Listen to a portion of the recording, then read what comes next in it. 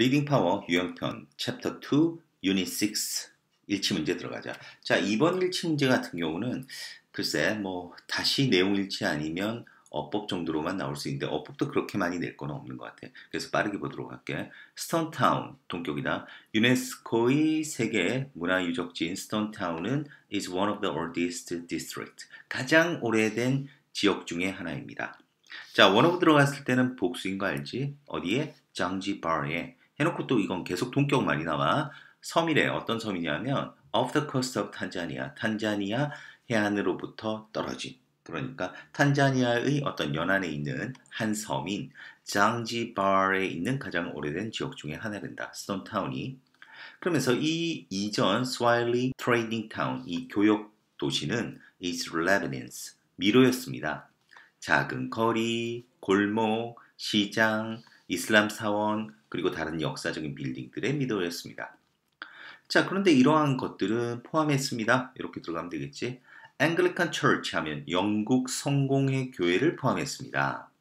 어디에 있었냐 하면 Old Central Slave Market, 오래된 중앙 노예 시장의 장소에 있는 그런데 그것은 동아프리카의 가장 큰 노예 무역 항구였대. 그 장소에 있는 어, 영국 성공회를 교회를 포함해서 이렇게 되겠네. 자, 그러면서 이거는 이제 분사금 들어갔다. 분사금은 어디까지 가니? 이렇게 콤마까지 간다.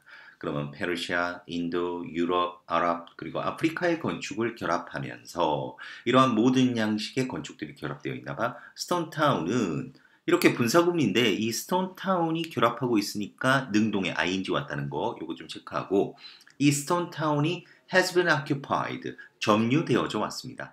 그러니까 옛날부터 지금까지 누구에 의해서 인간에 의해 점유되어져 왔다. 이 얘기는 인간에 의해서 이제 거주되어져 왔다. 이 뜻이겠지. 얼마 동안? 3세기 동안. 그리고 is famed for its beautifully carved wooden door. 유명합니다. 그것의 아름답게 조각되어진 목재 문으로 유명합니다. 어, 문이 목재로 이렇게 저, 조각되어 있었나 봐. The House of Wonders. 이건 또 설명하자니 동격이지.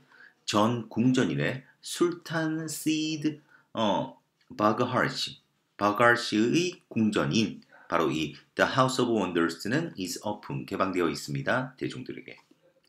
자 그리고 그것의 또 다른 주장은 명성에 대한 또 다른 주장하니까 여기서는 그 이유겠지.